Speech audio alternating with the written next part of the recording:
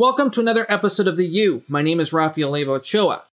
One of the most important jobs that the administrator has on the enterprise is making sure that they're complying with the policy. Now, let's be honest. If we don't comply with the policy, the manager's going to get mad, the CEO is going to get mad, I might get fired. Okay, let's not think about that. But, anyways, let's focus on the reality of securing the network. Posturing is a key technology that we can use in order to secure the network. We talked about posturing before, though. We talked about it on the firewall, the firepower threat defense, also called the firewall threat defense technology, that can provide a technology called dynamic access policies. Now, it's a great technology and it provides a good way for us to perform posturing.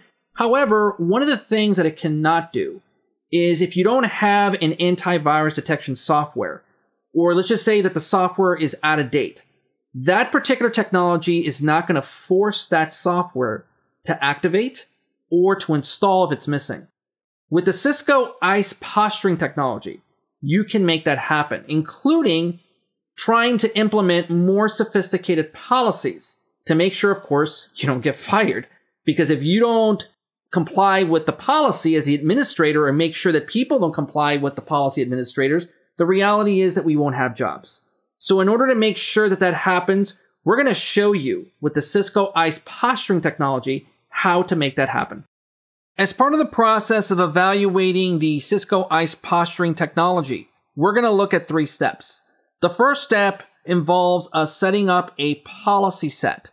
This is what governs what access the user gets once we see that he is complying with the policy or not complying with the policy when we configure the posturing technology. However, before we do this, we need to go ahead and configure or enable a posturing policy. There are defaults already built into the system. So if you just want to verify that the user has an antivirus software installed and that it's running on the system, you can just simply activate a default posturing policy. That's all you have to do. However, when we move on to step number two, this is where we get a little bit more into the customization. This is where we can tell the ISE box using conditions we want to make sure that this person has a specific antivirus software, that it's running a specific version, and that the software database that it uses to look for viruses or malware is up to date. Once we set up the conditions, we can then put it into requirements. The requirements is basically like a list of things that we look for, or a list of conditions that we look for, in order to know whether or not the person is meeting the policy. When we move on to step number three, this is where we attach the requirements that contain all the conditions that we're looking for. If he passes all these requirements that are on the posturing policy, we can then say that the person is compliant. If the person does not meet one of the requirements that we attach to the posturing policy, then he will not be compliant. From there, the administrator can decide using a policy set what to do whether or not to allow the user access, limited access, or kick them off the network. Once we're done with the configuration of the posturing policy, we can then test to make sure that we get the results that we're expecting. In order to start the process of configuring the posturing policy, we will need to log into the ISE dashboard. Once we're in the ISE dashboard, we will select the sandwich icon on the far left and then select Work Center on the far right. Once we're in the Work Center menu, we will see the posturing options and we will select the policy elements underneath the posturing options. Once we're in policy elements, you will see the conditions that we have to select from. We will go ahead and select file and we will see all the default Cisco defined conditions. If we select the funnel icon, we can go ahead and select the condition type and select user defined. This will show us all the conditions that we've created. As you can see, I've created three. One for the Cisco uh, PuTTY uh, application that needs to be installed on every single computer that logs into the network. Um, to verify if there's a particular bad file that exists on that person's computer, and also a good file that needs to be on that person's computer. If we select the PuTTY version condition that I've already created, you will see that I've selected an absolute path where the PuTTY application needs to reside on that person's computer. I can also select an operator. As you can see, we have the option of earlier than, later than, and equal to when it comes to the version that that PuTTY application needs to be in order to be compliant. If we go back to the other user defined conditions that I've configured and I select bad file, you will see that I've selected an absolute path for that where I want to locate that bad file. As you can see, I've selected that this file should not exist. Or for the good file in the same condition menu that I just showed you for the user defined, I can also say that it does exist.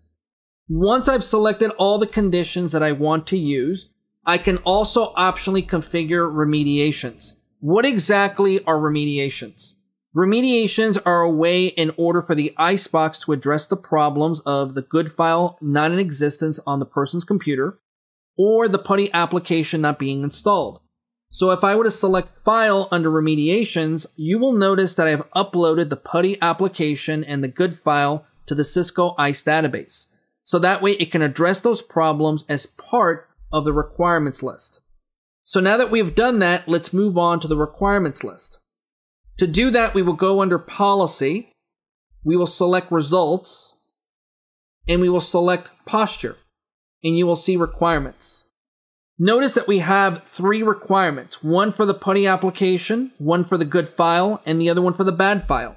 If we go to the far right, you will see that I've attached the remediation actions to make sure that the PuTTY application is installed uh, and also to automatically install it if it's not there. We can also have a remediation action that verifies that the good file is there. If not, the ISE box will take care of it. For the bad file, I have chosen to display a message that tells the user he needs to remove this in order for him to be compliant. So that means he will have to relog in after he removes the file in order for us to reassess them. Once the requirements are done, we can then move on to configuring the posture policy. This is where we're going to be attaching all the requirements that we just configured with all the conditions. So if we go to the far bottom, we will see that we have a posture policy called file checks. And if we move to the far right, we will see that one of the conditions of this policy is that this particular uh, policy, in order for it to trigger, users need to belong to an employees group on Active Directory. You will also notice that if I edit this and if I look at the list of different conditions that are in here, you will see all the different conditions that I've configured here or the requirements that I have under those particular uh, conditions that need to be met. The first one is the good file, the second one is the PuTTY application, and the last one is the bad file. Notice that they have different icons on the left. What do these icons represent? Now, if you have a green checkmark icon on one of those requirements lists that you have on the posture policy, this means that the good file in this particular case needs to be there. There's no other choice. The user does not have the option to skip this. So that needs to be there in order for him to be compliant. Now, for the PuTTY application, I have optional. What does that mean? That means a user will be prompted uh, and given a choice to either say, you know what, I know it's not there, but I want to continue on without the PuTTY application being present. So that means that if he chooses to do that, he will be compliant. So this is where we're giving the user the choice. And then finally, for the bad file, we have audit. That means that we're only logging this to verify how many people trigger on this particular condition. It could be that we're trying to test this for further evaluation to see whether or not we want to enable this as a mandatory option. So once all of this is configured, we can then move on over to the policy set. Notice that we have three policy sets. We're going to go ahead and enable the posturing technology under the wired access policy. So we're going to select the greater than symbol for that in order to go in there. We're then going to select the authorization policies and you will notice that one of the rules is called wired employee access. And notice that we have one of the conditions set to these devices have to be compliant in order to match this policy and also be part of a particular Active Directory group. If they do match, then we're going to apply a particular um, restriction. In this case, a wired employee access restriction. This could be an access list restriction or a VLAN restriction that we're applying to these users. Now, once we're done with all of this, we can now start the testing process to see how it works. As you can see, there's a lot of different ways in order for you to implement the Cisco ISE posturing technology. And hopefully I was able to provide you some insights on how to do that on your network. Thank you again and see you on the next video.